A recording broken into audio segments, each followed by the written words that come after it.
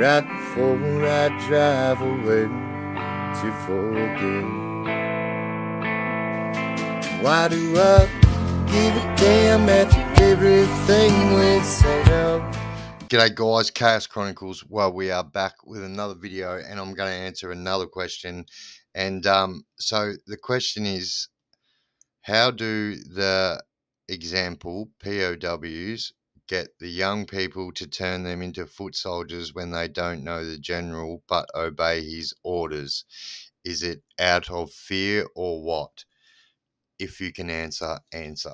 All right, so I'm going to answer.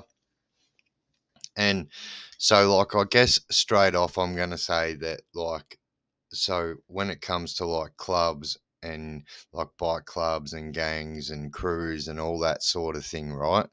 So they all have some kind of vetting period. So, you know, like say for instance, with bikies, you become a friend of the bikies and then you become a hang around.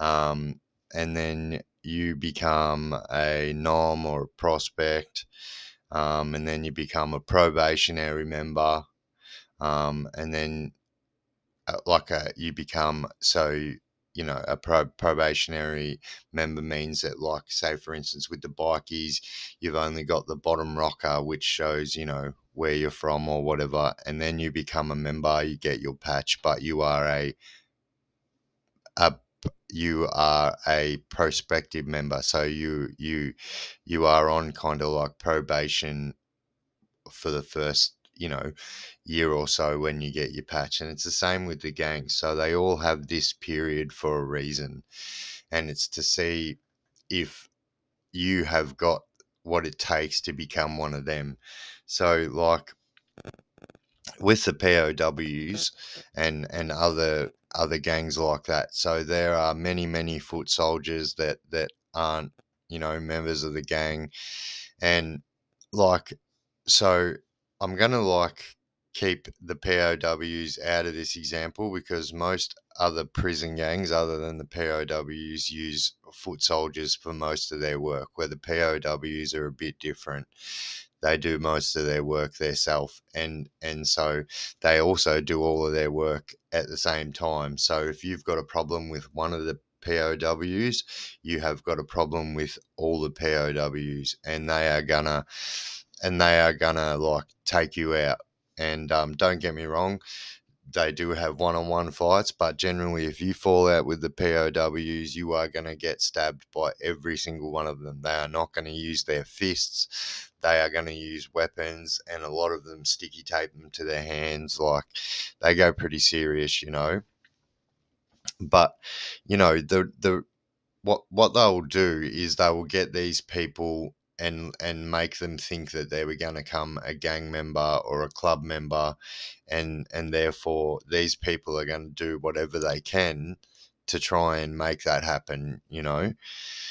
Um is it out of fear or whatnot? So i would say the reason why most people would join like gangs in prison um, would be out of fear to some sort of degree, you know. So, um, like, are they? They might be scared that they're going to get, you know, they have a problem with somebody else or another crew or whatever, and therefore, a lot of people, if they've got a problem with one crew, will try and associate with the other crews that they are warring with, you know, to kind of get some kind of backup or whatnot. But I would say, for the most part, that the reason that most young people and whatnot join prison gangs is is out of fear, and not that they're scared, like that. Um, you know, that they might get taken out, but just the thought of doing it alone in prison is very daunting for some people. And, um, you know, the end of that question, he says, what, why do they do all these things for the general when they don't even know their general? Well, here's the thing, you know, um, also with prison gangs as well. You know, you kind of they're kind of the ones that have always got the drugs. They've always got you know cash and things like that. So it's pretty like you know they've always got the mad shoes and although you're only allowed to have like black pair of shorts and a white t-shirt.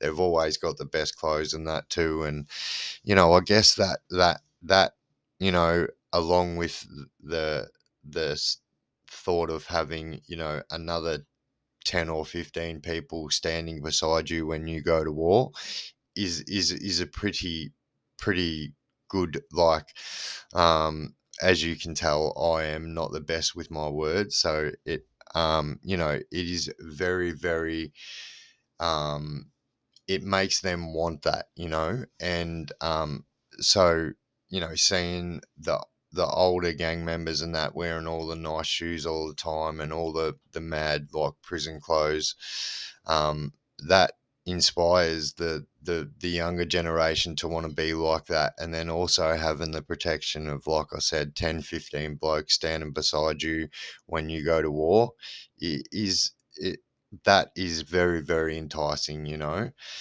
Um and you know the younger people is definitely definitely out of fear but i think you know when the older people join the prison gangs, I think they've just had enough and they just have given up on, you know, oh, I might be getting out in a couple of years. I don't want to get in any trouble. You know, I think I think that people just give up and don't want to don't want to um, deal with the bullshit that goes on in prison every day. You know. Um, and with the bike clubs and stuff like that, it, it's very similar, the same thing, you know. So, you know, the younger generation, the young men see see these guys riding around on nice bikes, got a nice girl on the back, got a pocket full of money, which is not always the case. Let me tell you that. Not all bikies are rich. There are some very poor bikies out there. Let me tell you that right now. Not all bikies, um, you know as this is going to make people say bullshit, but not all bikies do illegal stuff. And I think the news and the media have made people think that all bikies are gangsters or, you know, gang members that, that do crime. And that's not true. There are still some members out there that are hanging onto the hope of brotherhood, you know. And um, although that is you know rapidly dwindling out of control but you know that that's what it is but um, you know, these these young people, it's the same with the bike clubs that it is with the prison gangs. You know, these these people don't know. Um, well, of course they would know the members, but they don't know.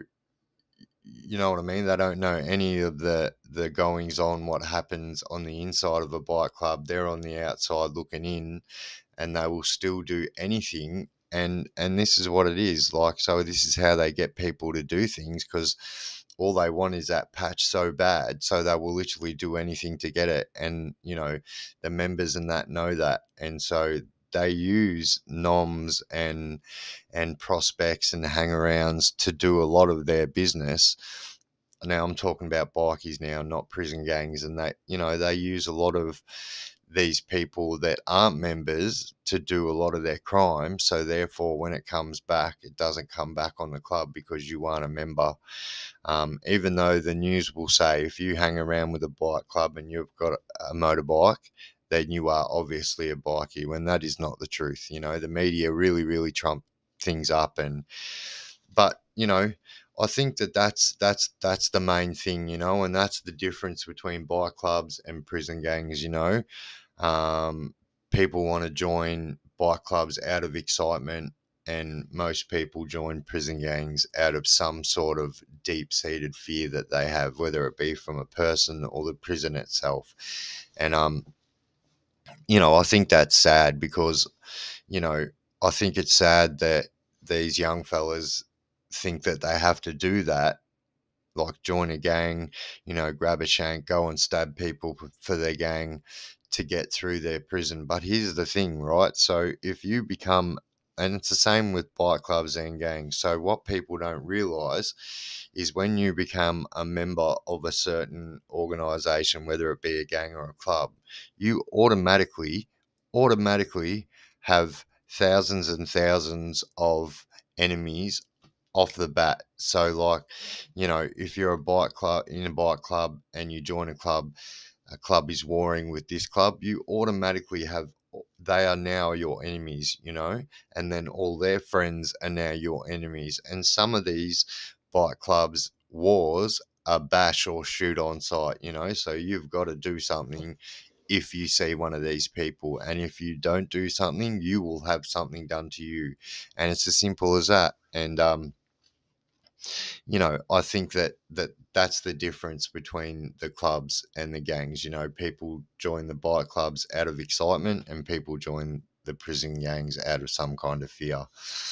Um, now, I, I can't tell you why each and all these people um, want to do these things and why they do all these things for the general when they don't even know him. But you know, I would say it comes down to fear. And why do they do it? Well, they just want it. They will do whatever it takes to have that kind of brotherhood and protection in prison. You know, um, and and I think it sucks that you know, like I just said, that that a young fella can't go from you know the start of his sentence to the end of his sentence without any bullshit it's a very very hard thing to do these days you know and i think it's it's shit that you know, a young person thinks that he has to join a, a gang to stay safe. And I, I think it's absolutely bullshit. And um, I don't agree with it. But um, yeah, there you go. There's the answer to that question. I probably um, dragged it out a little bit more than I needed to, but I really wanted to make my point um, that, you know, there is a big difference between bike clubs and gangs, but essentially, you know, they all operate on the same kind of thing. So, you know, they are very similar. But um, there you go, guys. If you do not want to go to prison, stay away from drugs and crime. Otherwise, you will end up there, and you don't know. You might have a club or a or a gang asking you to join, and then next thing you know, you're running around with a big big shank sandwich in your hand, um, hooking people up with that sandwich. And you know, most people that give people shank sandwiches in prison end up with more time, and it ain't worth it drugs, jail, and crime is is not worth it anyway. You know, and I think it's taking people longer to see it these days, but I think people are starting to see that, you know, especially with ice, I think the pandemic is is slowly dying off, although it's up there. But I think people are starting to see that they're losing their minds and whatnot. I've noticed it in the community that there's not so many um, and i live in country victoria so it's pretty bad and I, have noticed that you know the zombies aren't as bad these days and um, but yeah all right i'm going on again. I've been the chaos chronicles. We out also, guys, don't forget to smash that subscribe button for me.